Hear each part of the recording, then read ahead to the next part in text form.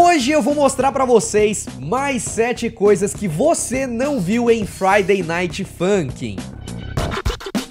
E aí players, tudo beleza? Eu sou o Fiaspo e seguinte, o vídeo de hoje tá caprichado porque eu separei pra vocês mais curiosidades, só aquelas mais absurdas que você não fazia a ideia da existência. Então chega junto comigo, principalmente se você gosta desses vídeos aqui de Friday Night Funkin', deixa o joinha porque ele é o termômetro pra gente saber se eu devo continuar trazendo esse conteúdo pra vocês. E inscreva-se no canal também, a gente tá quase chegando na marca de 4 milhões de inscritos. Dá essa moralzinha pra gente aí, pra você não perder nenhum vídeo também, beleza? Galera, hoje em dia todo mundo tem um canal no YouTube pra postar seus vídeos, faz live, tem alguma rede social com seguidores e tá na luta aí pra conseguir viver disso. Mas você já imaginou se da noite pro dia, por um descuido, você perdesse o seu canal e tivesse que começar tudo do zero de novo? Porque acabou clicando em algum link malicioso, baixou algum programa que não devia. Pois é, isso tem acontecido cada vez mais, vocês com certeza já viram vários canais gigantes aqui no YouTube sendo hackeados, não é verdade? Então pessoal, a melhor solução que existe hoje pra você se proteger é utilizando o Kaspersky Total Security, que ele tem uma alta taxa de detecção de vírus e malware, que só aqueles programinhas que você instala e nem percebe, e ele trabalha também com uma inteligência artificial que é capaz de aprender sobre as novas ameaças que vão surgindo todo dia. Além disso, o negócio não tá pra brincadeira não, porque ele é capaz de detectar até 360 mil novos arquivos maliciosos todo santo dia. E ele também te ajuda contra o anti-phishing, que é um esquema que os hackers utilizam muito hoje em dia, criando páginas fakes para roubar suas informações. Você vai lá, tá interagindo no site e nem percebe que tá sendo roubado. Você achou pouco? Ele também tem o Gamer Mode, que consegue bloquear algumas operações anti-malware durante sua jogatina e não afeta em nada o seu PC durante o jogo, mantendo a proteção ativa a todo momento. Então corre no primeiro link aqui na descrição, que tem para vocês uma mega promoção para todo mundo no canal com 50% de desconto no Kaspersky Total Secret. E é um negócio que você vai pagar pro ano inteiro, tá muito barato e vale a pena demais. Links na descrição. Todo mundo com certeza alguma vez na vida já caiu naquela clássica pegadinha do Never Gonna Give You Up, que é aquela música lá, Never Gonna Give Me Up, Never Gonna Let You Down. Never gonna give you up, never gonna let you down. Os caras chegam com uma notícia de Minecraft 2 foi anunciado, aí você clica no link. Never gonna give you up é, é, a música tocando, sabe? Vocês com certeza já viram esse meme por aí. Mas sabe o que é mais legal? Pouca gente sabe, mas os criadores de Friday Night Funkin' esconderam um pedaço dessa música dentro da faixa MILF lá na semana 4. E mesmo ela indo parar no top 20 do Spotify americano, quase ninguém percebeu esse segredo até o compositor oficial, Kawaii Sprite, postar um trecho no Twitter explicando essa treta toda aí. É assim, mano, na hora que você percebe, você fala, meu Deus, você nunca mais vai conseguir escutar a música MILF da, da mesma forma que antes. Você sempre vai lembrar dessa música aqui agora, tá?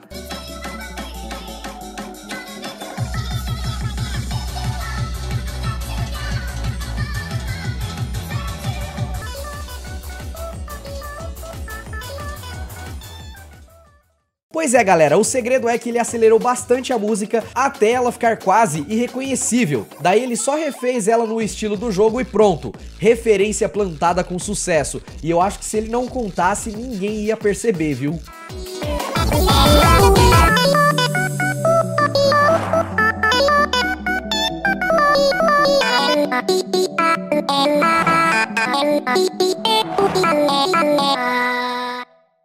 Você por acaso já deu de cara com essa tela de morte esquisita que alguma vez no Friday Night Funkin'? Se a resposta é sim, você é um baita de um sortudo, viu? Pois a chance dessa tela de morte aparecer para um jogador é de apenas uma em mil, e existe um bom motivo para isso estar aí. Acontece que essa é uma referência ao Gitaro Man, que é um jogo de ritmo meio desconhecido que certamente serviu de inspiração para alguns aspectos do Friday Night. A gente pode observar isso na primeira fase do jogo, onde o Gitaro Man também enfrenta uma espécie de demônio chifrudo em uma batalha musical. Só que aqui, ao invés de uma boa velha batalha de rap, o garoto e o demônio se enfrentam em uma épica batalha de guitarras, o que faz desse jogo uma verdadeira pérola perdida. Além disso, esse jogo também é citado em uma daquelas piadinhas que aparecem logo no início do jogo, onde eles falam algo como liberdade para agitar o man, com amor para o Boy, o que é uma citação ao desenvolvedor Wanda Boy, que é amigo dos criadores de Friday Night e também gosta muito de Gitaro Man. Você sabia dessa? Eu duvido, duvido que você conhecia isso aqui.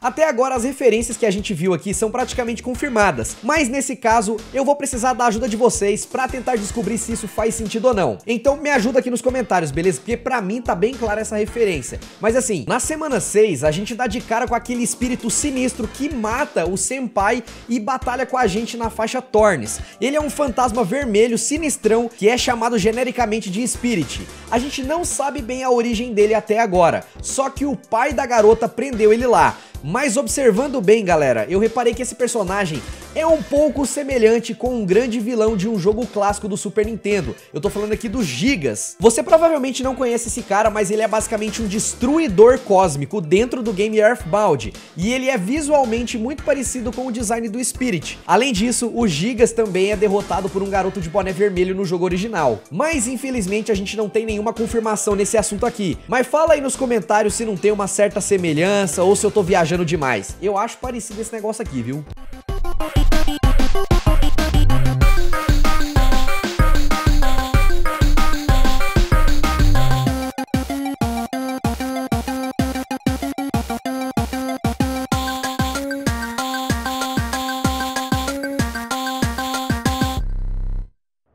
Voltando agora para as referências confirmadas, na semana 7 a gente viu a aparição de um personagem muito engraçado chamado de Tankman, que assim como a gente viu no vídeo passado, também é uma grande homenagem ao site Newgrounds. Tankman é na verdade uma websérie que viralizou absurdamente lá dentro da Newgrounds ali por 2006 e por mais que você talvez não tenha conhecido ele por lá, é impossível que você não tenha dado de cara com ele na logo da empresa. Sempre que você iniciava um jogo aparecia lá a logo que você consegue reconhecer na hora. Ela é realmente a queridinha do site e toda essa fama veio principalmente por causa do humor bruto e sarcástico da série, que a gente também pode perceber nas telas de morte da semana 7. Como por exemplo, quando o capitão fica zoando com a nossa cara quando a gente perde uma partida.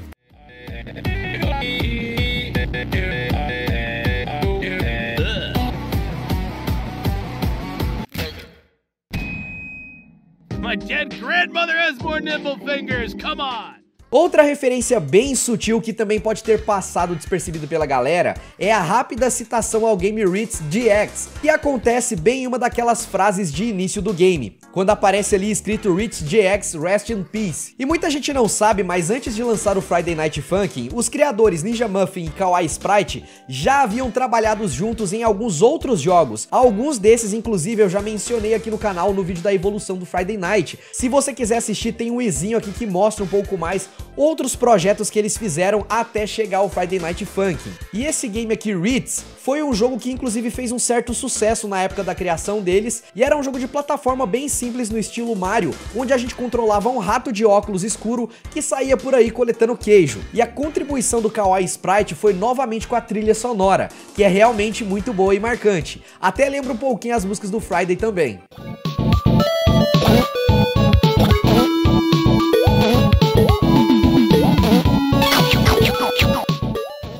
O jogo chegou a fazer um certo sucesso quando foi lançado em 2020, o que fez a dupla planejar o lançamento de uma nova versão do jogo para junho de 2021, que foi o Ritz DX, que deveria ser uma versão expandida do primeiro jogo. Mas claro, com o sucesso explosivo do Friday Night Funkin', essa ideia acabou sendo deixada de lado para que eles focassem mais no seu jogo de sucesso, né, do seu maior sucesso até então. E é por isso que no começo do jogo tem essa referência, escrito ali Ritz DX descanse em paz, porque eles abandonaram o projeto para focar no Friday.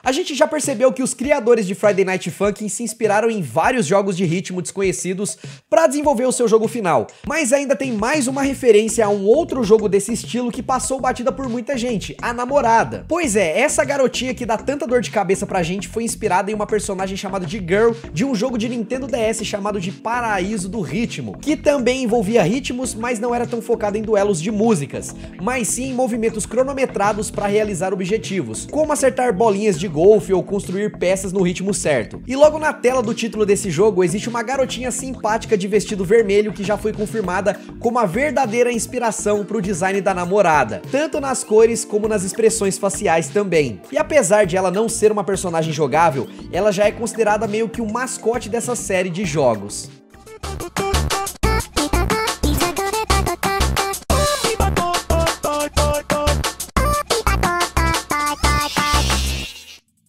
Para encerrar com chave de ouro, vamos falar agora do Nightmare Cops, que é um jogo extremamente aguardado da Newgrounds que está sendo feito por ninguém menos do que duas lendas do site, que é o Tom Fulp, que fundou a Newgrounds e lançou o famoso Pickle School, e também o Johnny Utah, que criou a série Tankman que a gente viu pouco tempo atrás. Esses caras estão trabalhando junto desde 2018 nesse que promete ser um jogo fantástico, e como a galera do Friday é fã número 1 um da Newgrounds, na semana 5 eles homenagearam o jogo colocando os três personagens principais do teaser logo atrás do namorado e da namorada, pouco atrás ali do primeiro plano. Eles são bem mais visíveis do que os personagens que a gente comentou no vídeo passado, que fica lá no fundo. Como, por exemplo, foi o caso da Hatsune Miku e do Meat Boy, né, que fica lá no segundo andar, você nem vê direito. Então, assim, o hype desse jogo novo aqui tá absurdo dentro da galera ali que acompanha Newgrounds, viu?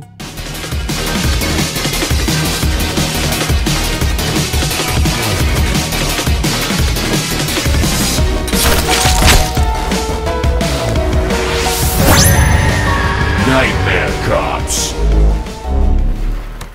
Mas e aí, você que comentou no último vídeo dizendo que já sabia de tudo, eu duvido que nesse vídeo aqui você já tinha conhecimento de tudo que eu falei. Duvido demais, porque, mano, a gente foi a fundo na pesquisa pra encontrar as melhores referências e coisa que ninguém tá, tá sabendo, tá ligado? Comenta aqui embaixo, não vem mentir pra mim não, hein, rapaz? Comenta aí. Se você sabe de outra coisa curiosa que eu não comentei, vai nos comentários também e conta pra gente, beleza? Se você gostou desse vídeo, não esquece do joinha, inscreva-se no canal, assiste os outros vídeos do canal também, aqui tem a primeira parte parte de mais referências do Friday se você não assistiu. E aqui embaixo tem os jogos que não tem combate. Jogo que não tem violência nenhuma, não tem, não tem lutas épicas, mano. Já pensou nisso? Que hoje em dia todo jogo tem luta, ritmo, alguma coisa ali. Aqui eu separei sete jogos que não tem luta nenhuma, mas que são jogos incríveis. Eu vou indo nessa, um grande abraço, valeu e tchau, tchau.